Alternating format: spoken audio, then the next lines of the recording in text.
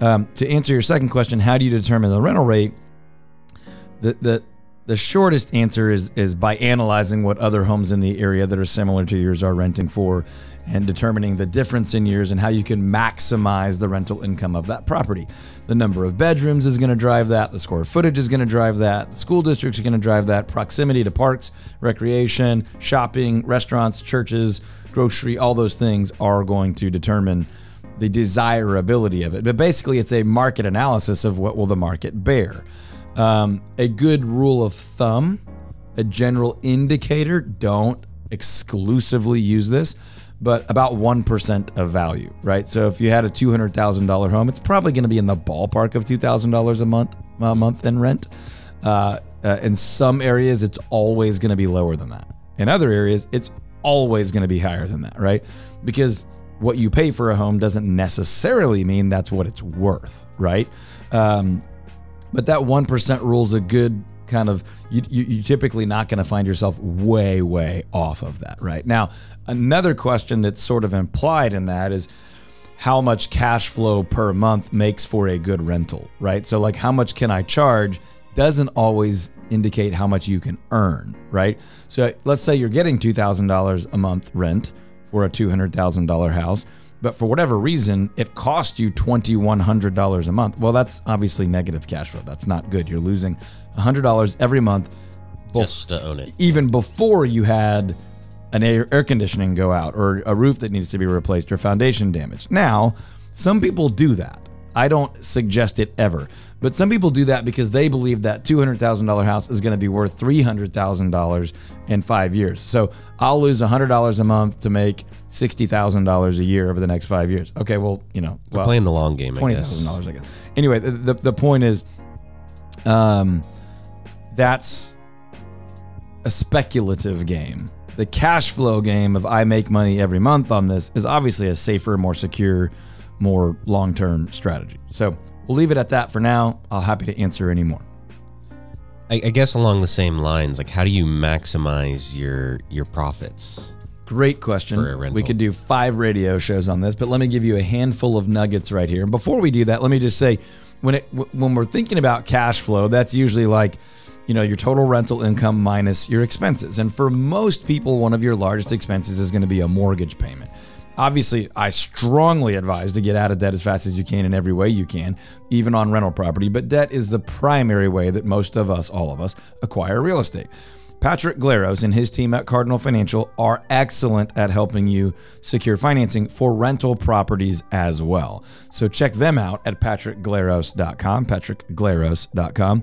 Near all time low rates right now for owner occupant purchases, but also for rental investment property purchases. So you definitely want to reach out to Patrick and his team at patrickglaros.com. Now, how do you maximize your your total in income for a rental property? I stopped myself just then from saying rental income because the very best property owners are generating income from more than just rent. Uh, or more than just traditional property rent, right? So let's just say you had a fourplex, okay? Um, sometimes there are parking fees. Sometimes there's some storage units or closets on site. There's some additional rental fees. You might even have a vending machine. Uh, you might have um, a little bit of an association fee for community maintenance, property maintenance, pools, or something like that, where there might be some additional revenue to be earned.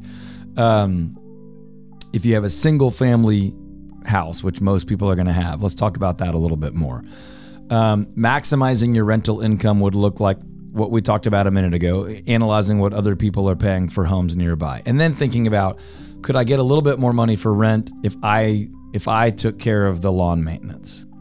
Could I get a little bit more money for rent if all the utilities were included? Could I get a little bit more than my cost, right? If I just said, look, you write me one check every month, don't worry about electrical, don't worry about heating and air conditioning, don't worry about water and trash, lawn maintenance, any of that yeah, you could probably get a little bit more because you're providing convenience. That's why milk costs more at the corner store than it does at the grocery store. It's easier to get in and out. It's more convenient. It's closer to the house, whatever. Um, so there are some ways to do that. Obviously, the flip side of that is by minimizing your expenses, right? So if a house is paid for, you're going to cash flow more. But you're also, e- even if you thought about, uh, if you made a true comparison to, to borrowed money, you're not paying interest, right? So the amount you paid in cash for the house is the same as the amount you're paying in principal for the home, but the interest is going to cost you more.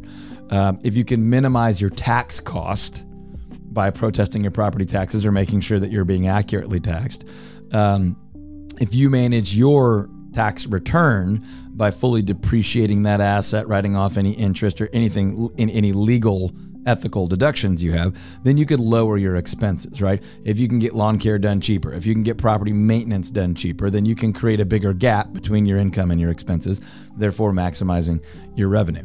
Uh, there's other ways, but those are a handful of the simple, traditional, predictable ways that most property owners can take advantage of to increase their cash flow. Um, some other ways, just to add one or two more, are to uh, to eliminate or minimize deferred maintenance. Right. So what I mean is, every year you probably have some pest control or some heating and air conditioning or property, you know, touch ups, paint, window, wood rot, that kind of stuff.